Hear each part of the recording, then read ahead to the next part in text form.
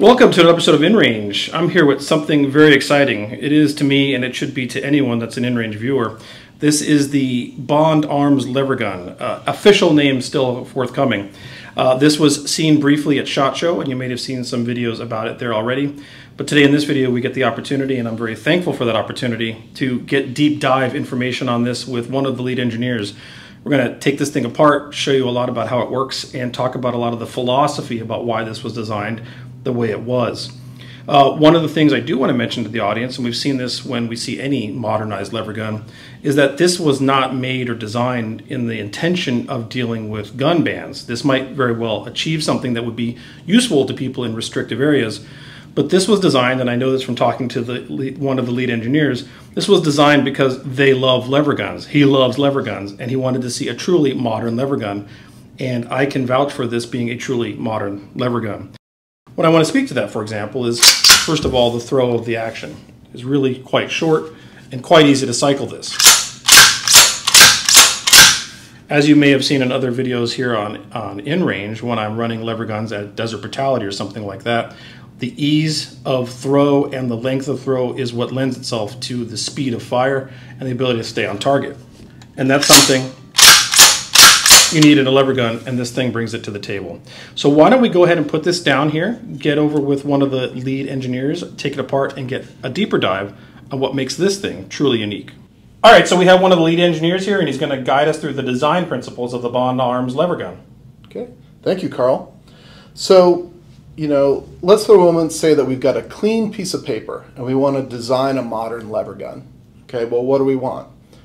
You know, maybe a rotating bolt for precision and strength.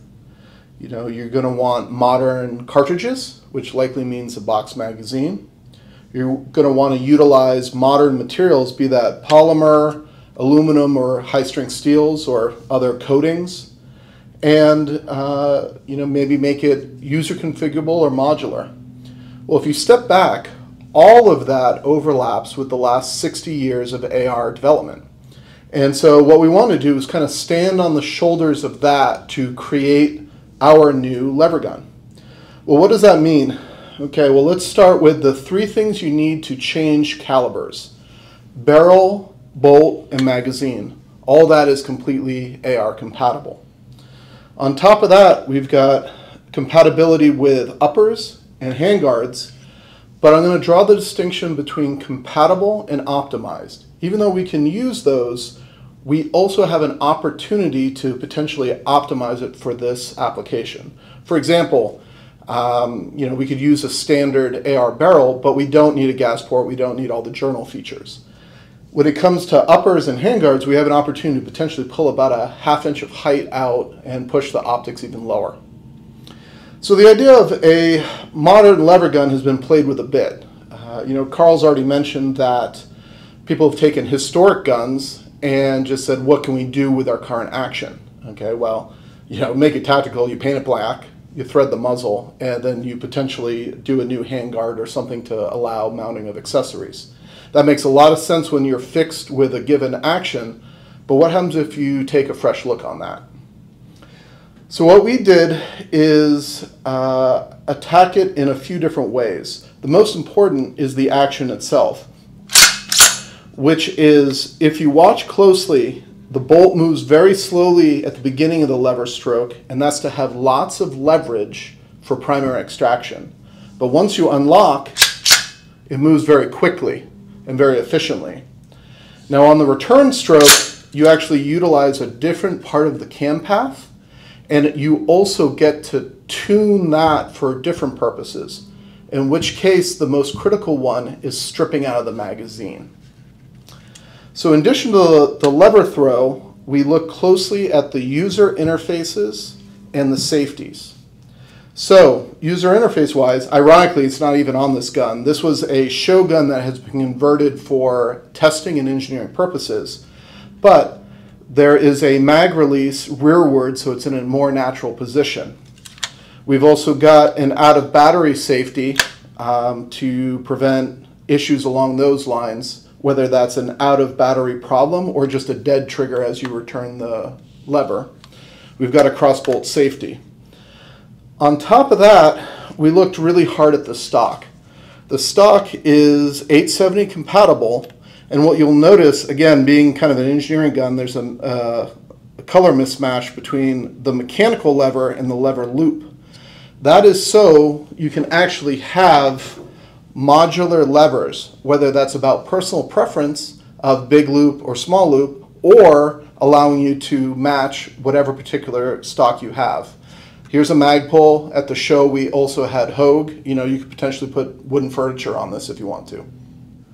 Okay, so why don't you walk us through the basic field strip, but then above and beyond that, the actual internals of this unique action. Sounds good, Karl.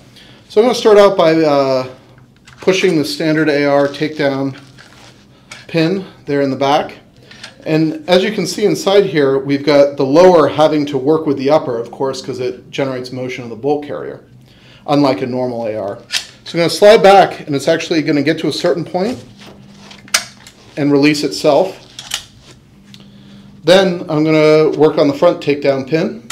And this one's kind of tough, but I think we should be able to pop it right off. There we go. All right, so for the moment I'm going to set aside the lower and we'll take a look at the upper. So one of the things we've been talking about is the difference between compatible and optimized. This is built from completely standard AR parts, upper, handguard, and even the barrel has just got a blocked gas port. What we have here is a plug where you'd normally have your charging handle. On this sample, it is an accessory that uses an Allen wrench to take it out, but that's less than ideal for a couple reasons. One is I needed to use a tool for field uh, strip, and also I got a part I can lose. When we have our dedicated ones, more likely than not, that plug will just be a simple pivot that's held in by the lower. Um, it's something, it's not common, but it's, it, there are a few different side charger ARs that work that way. But once that's opened up, bolt carrier just comes right out. Now, this, uh, what is unique here is the carrier itself and the firing pin, because of the way it works with the linkage, but the cotter pin, the bolt, and the cam pin are all completely standard. So if I was looking to change calibers, I'd do it right here. The other thing is, even if I hadn't popped that plug out, when the plug is in place, if I had a whole nother lower upper, I could just toss that right on and be back in the game. Okay, so we've talked about the bolt carrier. We'll come back to the lower in a minute. But I want to use this opportunity to just talk about some of the different things you can do with the upper assembly. Um, so, you know, you can have something that's forged versus billet, of course. Uh, this is a real slick side, um, slab side with no, you know, clearly we've got no forward assist on either. But, you know, to be determined whether or not you or, or what's a factory offering as far as whether or not you want ejection port cover. I know InRange is big on mud tests. So moving forward, you know, I think of this as more of really your sporter or lean. You know, we've got a lean upper, We've got a real low profile handguard that's shorter. Both have got pencil barrels. Um, then over here we've just got you know simple uh, thread protector versus a muzzle device, in this case kind of a basic comp. Um, what you also notice here is that this is in a large ejection port. And that's because we have hopes of you know doing a range of calibers on this platform. And the last thing I want to mention is my favorite part about this handguard is we've talked a couple times now about the potential of pushing, without a gas system, pushing optics lower. This is currently at the 3 o'clock position. This is actually the height that we could have at 12 o'clock. And you can see truly how low that is. That's as, and this handguard represents the smallest the barrel nut can be, and also the smallest that results in an in-spec surface for M-LOK interface. All right, so why don't you walk us through the reassembly? You've done the field strip, you've given us a deep dive on the bolt carrier group. What's it like to put back together? Sounds good. All right, so we're going to switch from the kind of sporter to more tactical upper on that front. So first things first, I just have to make sure that this upper does in fact fit properly. So I like to just kind of pop it in and pop the pins in. Good to go on that front. Now I'm going to open it up and work on the bolt carrier. Okay. So it comes back in and we're going to stop at the same position that we were at when we did the field stripping and take it apart. Right now, these toggles are a split design. Um, that was kind of done looking at manufacturability. There's potential of going back to actually an earlier design that was a uniform version, um, which just helps a little bit with getting this back together smoothly. So, kind of line these up, slip right in. As soon as I feel the bolt carrier moving, uh, means I'm in the right spot. Now, um, like other things with guns, if you have to force it, it probably is not right. So I'm just going to find the right spot to let this thing pass over center. And as soon as it does, just close it up. And you don't need the plug. That's if you want the, the plug is optional, and again, ones that will come um, from the factory will have a different solution. This would just be for folks who are trying to build their own. So that's all it takes to go from one upper to another. That's right. As well as the fact, changing calibers, I could swap out complete uppers, or like we talked about, you saw how to take out the bolt carrier, and you get at the bolt just like you would um, a normal uh, AR-15. Awesome. Thank you so much. Well, as you can see, I'm very excited about this concept. I have long wanted to see a truly modern lever gun come to the market, and where this is going based on the things you've even already seen here on InRange, this feels very much to be going in that direction. Of course, this is a prototype, it's not in production yet, and we really haven't even fired it yet, so we're gonna go ahead and take this out to the range and put some rounds through it and see how it works.